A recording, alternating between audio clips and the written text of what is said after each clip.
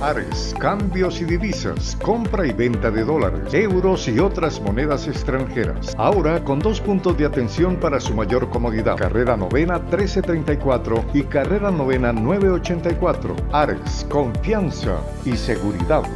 El dólar en casa de cambio promedio se compró a 4.640 y se vendió a 4.390. Por su parte, el euro se compró a 4.479 y se vendió a 4.620. La tasa representativa del mercado cerró en 4.895 pesos con 29 centavos. Es la información del cierre de los indicadores económicos hoy 27 de octubre.